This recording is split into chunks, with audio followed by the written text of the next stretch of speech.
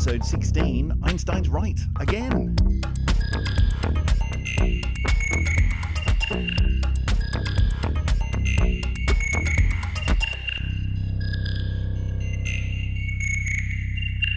Welcome back to another episode of Syzygy, episode 16. I'm amazed we're up to episode 16. It's just all going so quickly. This time around, we're talking about the supermassive black hole at the center of our galaxy and how observations of stars going around it have proved, once again, when's it going to be conclusive that Albert Einstein was right in his theory of no.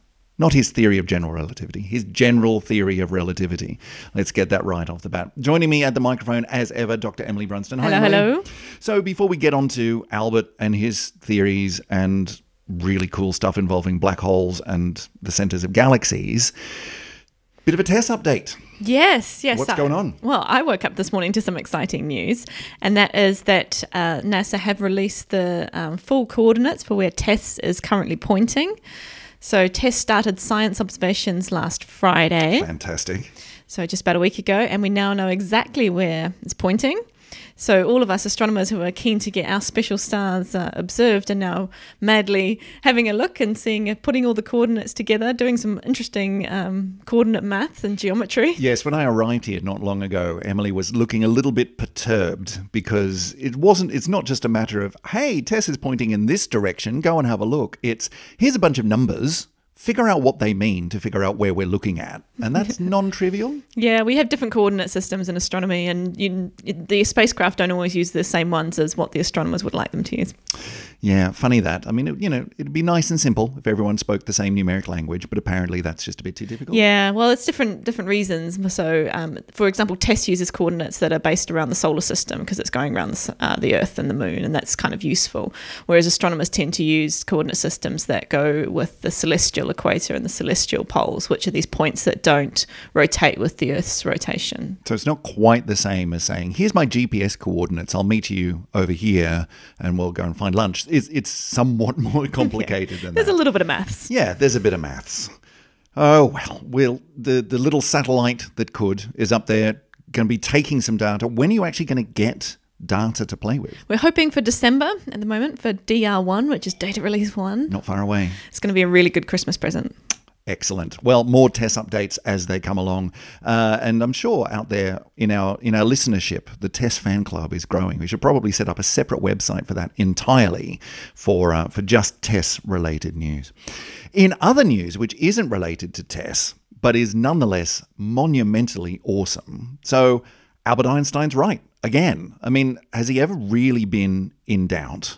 Not so much, but it's really nice every once in a while to come up with a new way of testing the theories of the great scientist from 100 years ago. And the one which has just been hitting the papers recently, hitting the news recently, is a really, really good one because it's some data over the last, well, decade or more, couple of decades, of stars orbiting the massive black hole at the center of the Milky Way galaxy. And if that doesn't make you sit up, open your eyes wide and take notice, I don't know what with what will. So, Emily, talk us through this one. What's going on?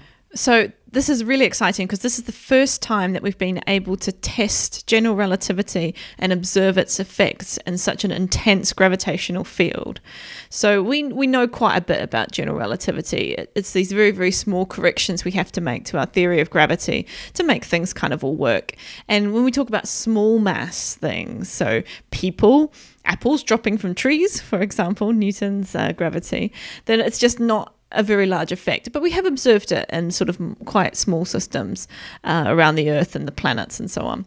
But we wanted to try it out in something a bit bigger, something with a bit more mass. So something with something like four million times the mass of the sun. Kind yeah, of you're gonna you're gonna start seeing something interesting at that point. You're getting up into properly relativistic regimes, then, aren't you? That's fun. Yeah. And of course, the most massive thing that we have in our entire galaxy is the supermassive black hole at the center. Yes, I mean, I guess if you can't use the entire galaxy itself, then you've got to go for something which is pretty big within that galaxy. And this is this is the biggest thing we've got. Yeah. Right, right at the heart, there is a supermassive black hole. How big is it? Four million times the mass of the sun. Good lord! I mean, that's that's extraordinarily big. Rather big. But when you say big, I mean there are different different kinds of big. There is big in terms of mass, and there's big in terms of actual physical size. And black holes are really interesting because they can be incredibly massive and yet comparably very small. So this is how many? It's like several billion solar masses. Yep. But how big does that translate to in terms of actual size? Yeah, so black holes are interesting when you talk about how big they are. Of course, they have gravitational effects which go out for very, very large distances. But the way we sort of define the size of a black hole is something called the Schwarzschild radius.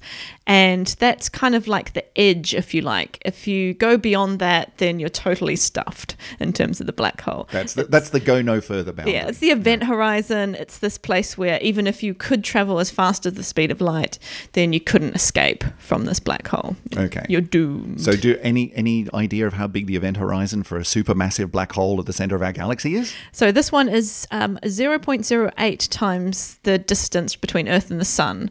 So just a bit less than 10% the distance between Earth and the Sun. Right. So that's that's tiny Yeah. for something which is millions of solar masses. Yeah. Wow. yeah.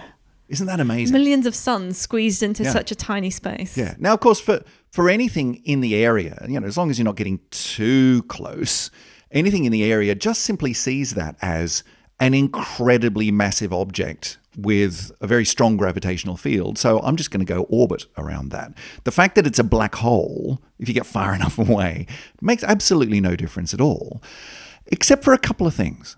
And one of those things is that it's a black hole. You can't see it. Yeah, this is the tricky thing when we come to trying to observe the black hole at the center of the galaxy. How do you observe something that, by definition, sucks in all light? Yeah. So, really interesting thing about making observations of the center of the galaxy is that you can't see the thing itself. What you're looking for is its effects on the stuff around it. And so that's what makes this story so interesting. So let's back up a little bit. Who's who's been doing this? Where where is the research? Who's done it? And big thumbs up to them. Yeah, so this is um, something called the Gravity Collaboration, which is a really nice. Well done. I think it's an acronym, but I d- don't remember what all the bits stand for. Tips for new players in science: you've got to come up with a good acronym for your science. It helps you to get just that extra ten percent funding. It's usually that that funding is usually attached to acronym status. So having gravity research called gravity gets you surely at least 10%, maybe 15% on your funding grant. Yeah, yeah, it's a good start. Um, so this is a collaboration of actually a huge bunch of international scientists. It's led by a few European institutions, including the Max Planck Institute, um, Grenoble, and uh, ESO as well, the European Southern Observatory. Uh, so they were looking at using the um, Very Large Telescope, which is again a wonderful acronym of VLT. Yes, as the telescopes are getting larger and larger, we're working on we're working on these acronyms, and you know, there's the very large telescope. There's the is there the stupidly large telescope? I mean, we the had we had a plan for an large- overwhelming large. Telescope. Overwhelming. You was something owl. like overwhelmingly large. Unfortunately, telescope. that got scrapped. Maybe because of the name. Yeah. Yeah, but this is the one that's up on the mountains, the, the desert mountains in Chile. Yes, it is. Yeah, yeah. And so the interesting thing about the observations is that actually we can't use a traditional uh, observation method for the center of our galaxy. You can't get out the kind of optical telescope that you could look through and go and see what's going on at the stars there. Why, why is that? There's just too much stuff in the way. Oh, right, right. Yeah, because when you look to the center of the galaxy, I mean, a galaxy is filled with an enormous number of stars. And so as you look at the Milky Way, you're seeing, you know, through an extraordinary number of stars. And if you go and look at, at, at proper telescope images of, of the galactic plane, then there are just ludicrous numbers of stars that show up that we don't even see from down here with our with our incredibly coarse eyes. Um, but there's more than that, isn't there? Yeah, it's, There's- it's much, much worse than that. Yeah. We've also got gas and dust. So if you go out and see the Milky Way, you might be able to see these black smudges all through the plane of the Milky Way, especially towards the center. Or in the southern hemisphere, the Coalsack Nebula is an example of this. It's quite famous. And those aren't voids. That's not sort of, oh, there's no stars in that bit. That's dust That's getting in dust the way. Getting in the way. Which does make looking for stuff in the middle of the in the middle of the galaxy quite challenging because you're looking through like we're sort of what halfway out to the edge of the galaxy something like that you're looking through a large amount of the galaxy to try to see the very center of the galaxy. At first blush, I would have thought, surely that's impossible. You can't do it. So they obviously are. Ah, how? So, well, we don't use the optical light because it's Right. just not getting to us from the center. Okay. So instead, we use radio techniques and we use interferometry as well. So what we do is we, um, well, between infrared and radio, we can put together some of these pieces. So actually, for the gravity collaboration, they were using um, an interferometer on these VLTs. So that was uh, using some light, actually, a little bit towards the infrared part of the spectrum. And uh, by combining the signals that you're getting from these different telescopes, you can improve the resolution that you're seeing. It's a little bit of a trick we have in interferometry where if you have two observations taken at a particular distance apart, if you combine them in a very clever way, you can effectively achieve an observation as if you had a, um, a telescope that was the size of the distance between those two It's individual very clever, isn't it? It's really clever. I mean, if you look at the layout of the the very large telescope up there on the top of the mountains in Chile, um, it is these these enormous telescope domes. I mean, it's quite an amazing looking place. But there's four of them Yep. spread out over a distance. And I was I was reading up on it when this story came up. It, it's really interesting that you know when you when you apply for observing time on the on the big telescope, you can use one of those. You can get a couple of them hooked up in this in this interferometry way and, and make a bigger telescope. Typically, they'll go for three for really big projects. This one, they said, no, we're going all out. We're going to use all, four of them. Yep. And then there's another eight telescopes, smaller domes around the place, which can move, which add in information as well. Um, and for, for this one to see into the heart of the galaxy, they had pretty much everything going, which is just extraordinary. And they ended up producing images as if they were using a telescope, which was the size of the entire facility, which is extraordinary. Yeah, they're they're amazing. And even the, the four big telescopes are some of the biggest telescopes in the world. They're each eight meters in diameter of the size of the mirrors. So these are these Yeah. are not, you know, little Yeah, pieces huge of equipment. things Yeah, huge things we'll put some links in the show notes Yeah. go and have a look at this facility because it is i'd love to go there one day Oh, yeah. absolutely love to go there i mean it's not easy to get to it is up on top of mountains in the deserts of chile it's intentionally a long way away from everything else but i'd still love to go there one day. That would be cool. And this is speaking of that um, that interferometry that's the same kind of technology behind some of the big new telescopes that are coming online like the square kilometer array aren't they? Definitely, the- yeah. with the SKA, which is spread over large parts of the Australian outback desert in Western Australia, as well as South Africa, and there's a couple in New Zealand as well. And uh, There's one in New Zealand. one, yeah, one, one bit over there in New Zealand. one. But the whole point is that if you have all of these relatively small dishes spread out in particular patterns over, let's call it most of the Earth, most of the southern hemisphere, you end up getting the equivalent of a telescope which is an entire square kilometer in size, which is huge. It's- yeah. Absolutely huge. Yeah. So very, very clever stuff. Yeah, yeah, and that's in radio, so that's even more exciting because we're looking for usually very high energy things in the radio part of the spectrum. Okay, so coming back to this particular one, then we've got this amazing, very large telescope, and they're pulling out all the stops to say, let's just ramp this thing up to 11, peering at the center of the Milky Way, peering through the dust. Because, so you said that they're not looking in the visible, they're looking in the infrared and radio? I think there were some radio observations as well, but most well the VL, the VLT ones are in this yeah, particularly part of the infrared. But the point of that being that the, the visible light is blocked by the dust, it can't get through, but other wavelengths can.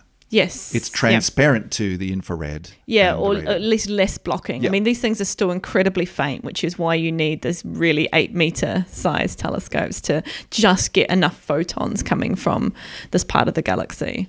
So it's not, it's really not an easy uh, thing to yeah, do. No, no. And that's borne out in the fact that it's taken a couple of decades of observation to actually get the results that have come through in this paper. So when you do go and look at the heart of the galaxy, you manage to get through all that dust, you manage to not have a bloody great star right in your field of view that you can't see past. It's it's great.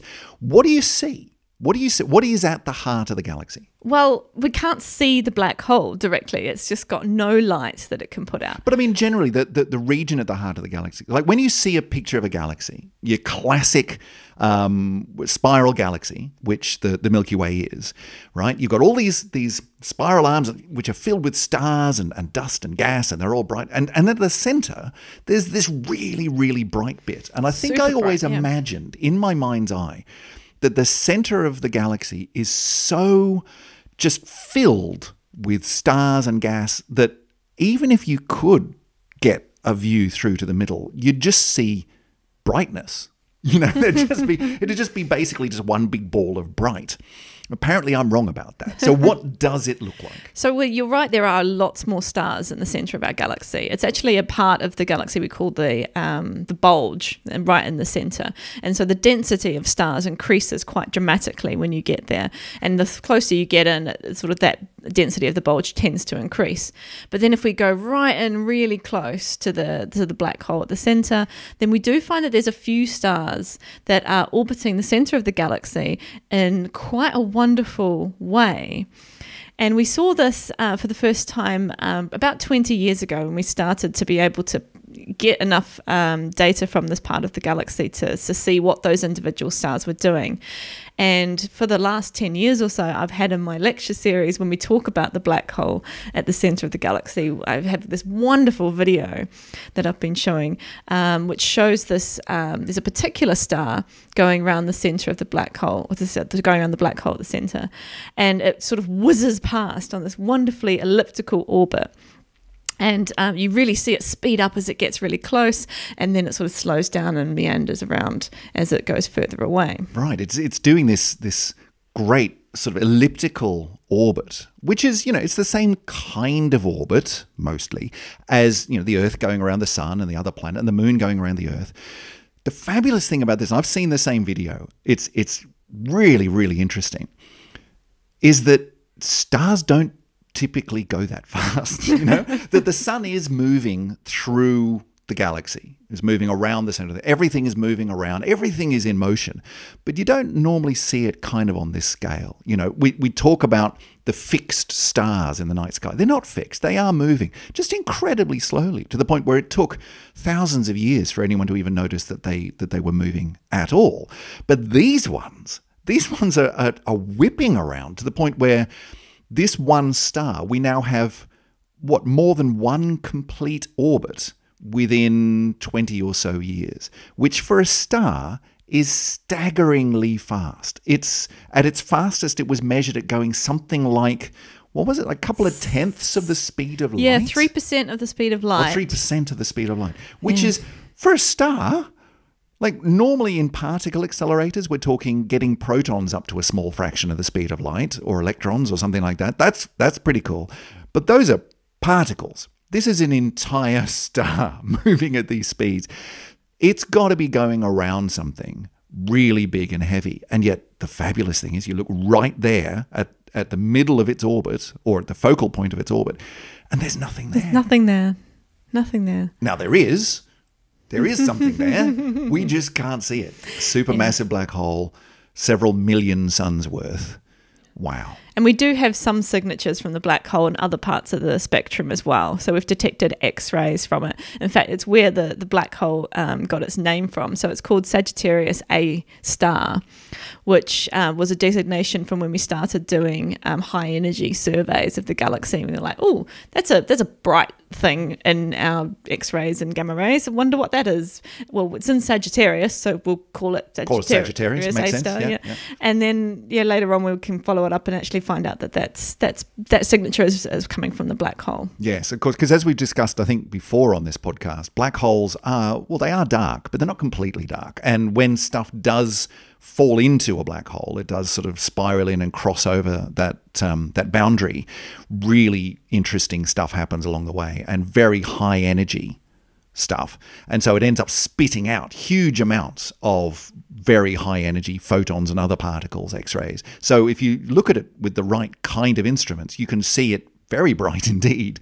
Um, but when you look at it in the visible, in the infrared, there's nothing there. Yeah. So th- these are the kind of pieces of evidence we have that fact that black holes exist because we have no other theory that we can construct for an object to be so massive and to have such an interesting radio signature and uh, X-ray signature and have be in within this orbit of this really really fast going star. Yeah, I mean, and and for this particular study, that's the thing is that there's there's nothing else that we can come up with that would cause this star and others nearby, but the, this one particular star, which I think was called S2. S2, it's Um, yeah, the most simple name of a star I think we have talked about on this podcast. It's great.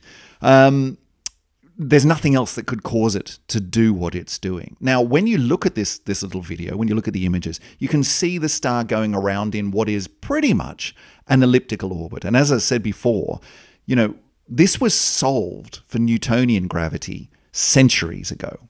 Right? We call them Keplerian orbits, and, and there are various of, of Kepler's laws that, that talk about how quickly a planet or something goes around the sun and what kind of shape the orbit is and how you know how fast it's going and, and equal areas over equal times and, and all of that sort of stuff that you learn about in school. But it's all based on newtonian gravity. And newton's law of gravity hundreds of years old is actually really good. You know it describes low energy low mass stuff really really well um, and it's a very simple theory. It's a theory that says if you've got a mass here and a mass there, then the force of gravity between them depends on those two masses and, and the distance between them. Actually, it's one over the distance squared. But anyway, it's a fairly simple and really useful physical law. It works. Einstein came along about 100 years ago and said, yeah, look, it's not so simple. It's actually a bit more complicated than that. And his general theory of relativity said if you have a large amount of mass or a large amount of energy, same thing basically, then that's going to warp space time around it.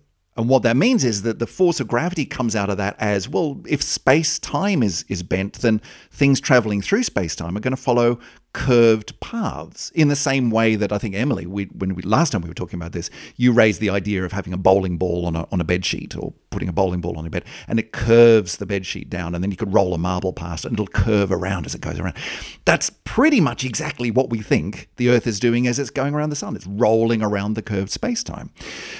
Einstein's theory puts relatively small corrections, for most cases, on Newton's theory.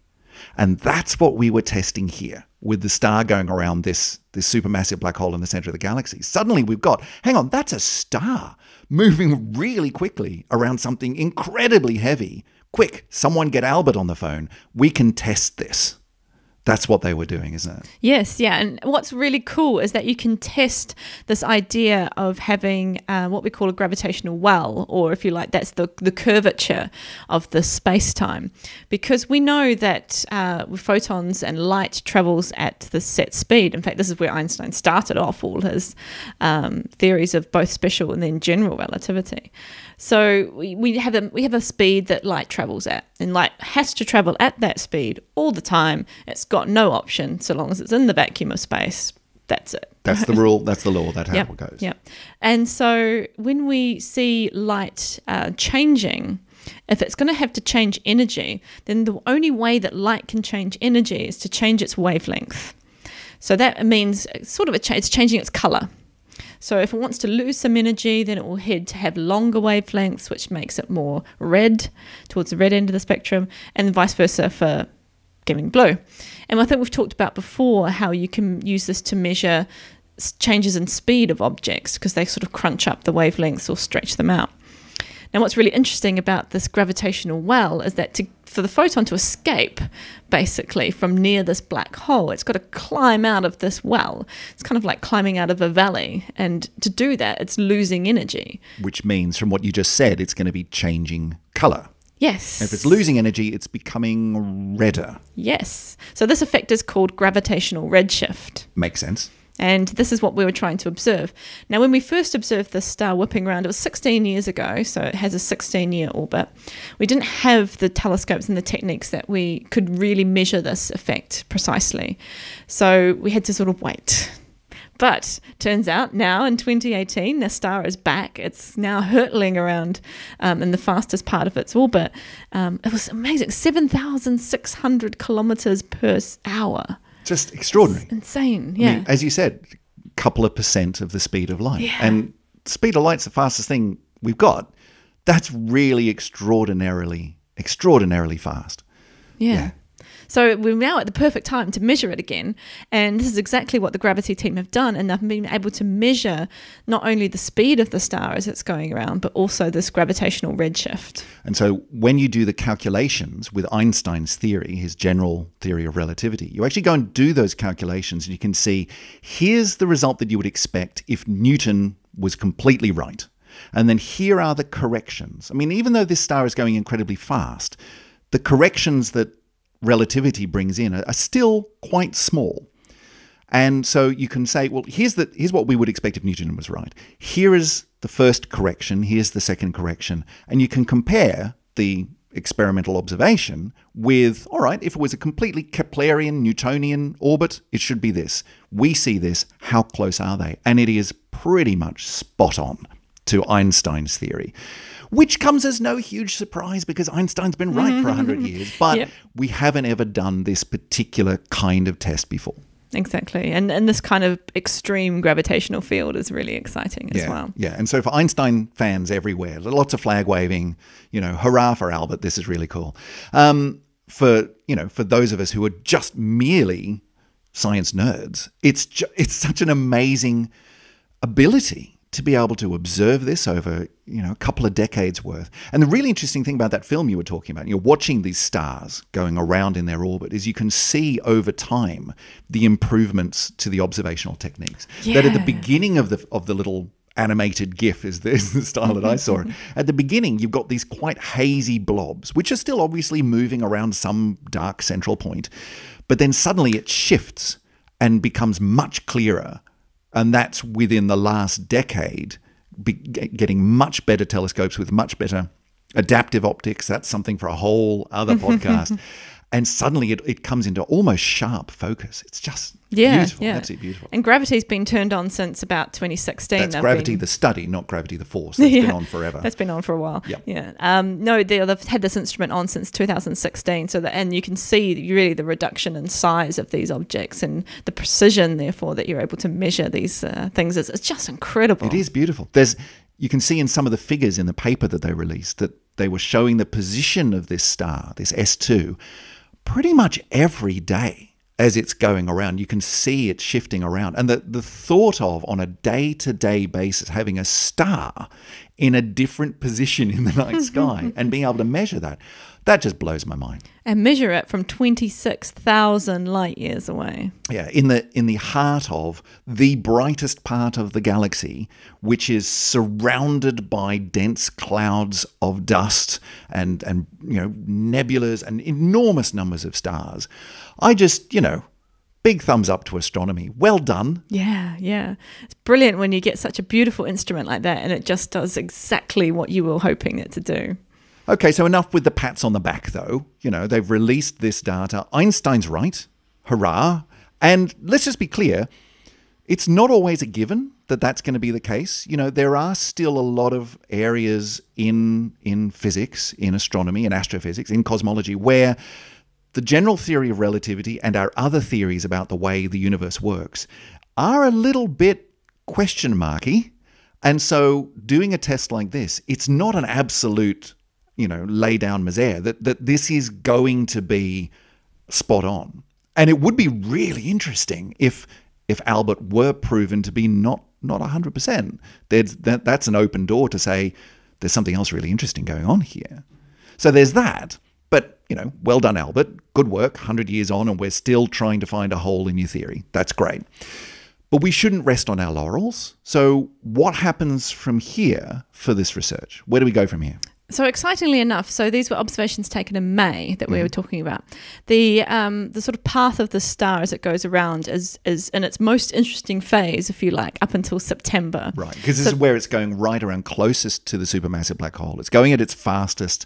It's having the biggest relativistic effects Yeah. before it goes out into the slower part of its journey, and those effects become more and more negligible as it goes around. Yeah, and so we've got lots of opportunity to make more measurements, and we're making them in two different ways as well, if you like. We're making the measurements in terms of how much this star is moving across the sky. So this is kind of like your um, astrometry or the position of the, the star in the sky. We're also measuring it in the other dimension as well, so that we can build, reconstruct the two-dimensional velocity profile you, of the star, which means we can tell where it's going exactly around the star through space. We're not just limited to, to a projection. So we're making both of those measurements simultaneously. So we really will be able to nail down this orbit. And there's some key points uh, in that orbit where some of those numbers are zero. Uh, for example, the, the star doesn't appear to be moving towards or away from us for a short period of time. So there's lots of new measurements to be made over the next few months. I'm sure uh, people who are doing these are very, very excited. Um, So really, I mean, this is this is just the beginning. This is the first first paper where they've said, okay, we've taken a really good hard look, and everything's going really, really well. And we can, you know, if you follow these theoretical predictions and the and the experimental observations, then Einstein's right and general relativity is really, really good. But there's so much more that we can extract from this to do more tests and to figure out exactly what this star is doing. yeah, and we want to figure out what we want to do next time it comes around. Yeah, So one of the because ideas there's only going to be another twenty years. How? Yeah, 16 years. 16 years. Yeah.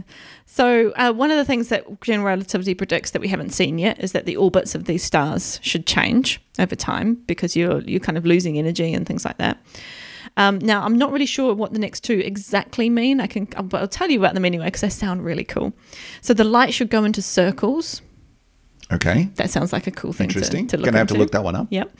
And oh, this is really, this sounds awesome. This sounds like sci fi. The space time will rotate with the black hole. Oh, yeah. Okay, I have heard of that, but I'm we are delving into territory that I'm less and less comfortable with. But of course, the black hole isn't just sitting there. It would be very, very unusual to have you know black hole forms when when a lot of mass collapses down, and in the same way that when you know water goes down a plug hole as it comes in towards the plug hole, it starts rotating faster and faster. You've got some angular momentum in there. You've got some rotation in there. When stuff collapses down, as a star collapses or as material falls into a black hole, it too will always have a bit of angular stuff, angular momentum, and that angular momentum still is is kept by the by the black hole. It's one of its properties. And if that black hole is rotating, then the theories of relativity say, well, you know what? It's going to have a bit of a dragging effect on the space time around it in a kind of a similar ish way to the water going down the plug hole.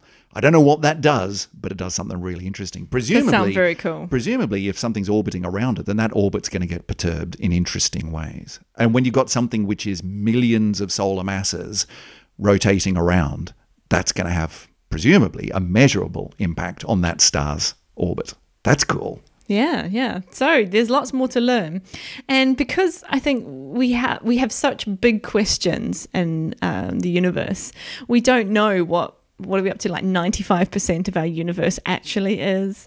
We that embarrassing little fact of, Yeah. of cosmology. We don't know what dark matter is. We don't know what dark energy is. Both of those measurements require us to understand gravity really, really well. So we've got to be sure that the observations that we're making that infer both of these, um, ob- well, phenomena are as accurate as they can possibly be. And every time we go out and test GR, it seems to be that we're we're doing okay. Yeah, I mean, th- this is this is one of the few, if if the only that I can think of, really high energy testing grounds for these kinds of theories. You know, general relativity is really important when you're looking at the orbit of Mercury, right? The closest planet to the sun is affected by the general relativistic perturbations, those tiny little effects of the sun's gravity at a relativistic way. You know, it really does have an impact. Um, the satellites going around the Earth that give us to within a couple of meters our position through GPS, those calculations have to take into account general relativistic effects, even just for a satellite going around the Earth. Yeah. I remember But- before we had those those um, corrections made for GR and, and GPS technology, and you had I was in a boat and we were sort of out there, and it said that we were a kilometre away on top of the nearest hill when really we were just just puddling around in the harbour. Whereas, in fact, if you do make those corrections away from Newtonian physics to Albert Einsteinian physics, then you can get it to, I mean, the military grade ones can get it down to like a meter, which is extraordinary. But being able to test them at a level of like very high energy, very high mass, there's there's very few ways that you can do that. We know that there are supermassive black holes at the center of other galaxies, but we can't see individual stars going around them. This is the only one we've got, as far as I know. Hmm. That's really cool. Very cool.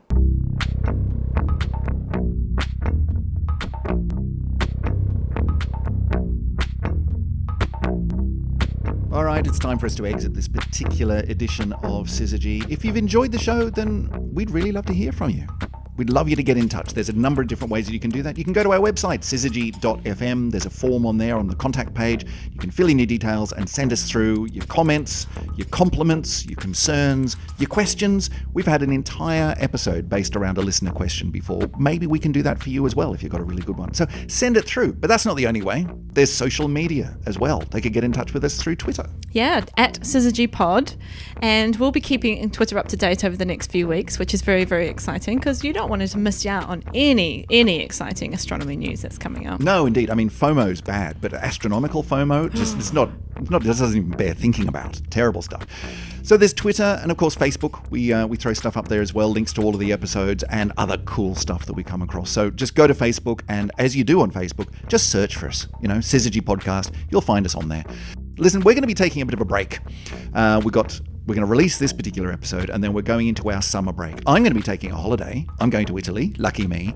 And Emily is going away as well, but yours isn't a holiday so Um, much? one of them is actually a holiday. Next week I am going on holiday. Very nice. But you're going to be doing some work as well. Oh, it never stops, does it? Yeah. It's, it's a tough life being an astronomer. Where are you going this time? Um, next week I'm going to France. We're going to go to the um, bottom end of the Loire Valley. Very nice. So um, yeah, so do keep in touch with us through social media because that's the best way to find out when the next episode is released. That's right. That's right. And, you know, we put this plea out pretty much every week, but we're going to keep doing it because it is a really good way to, for us to get the word out. If you've enjoyed what you've listened to, then leave us a review, send us your thoughts, go to your podcast client of choice, and Tell us what you think. It's the best way that we've got to get the word out to other people who really enjoy the cosmos and the excitement they are in. So please do that. Help us out. Otherwise, we'll catch up with you in a few weeks' time. So it's bye from me. Goodbye. See you in a while.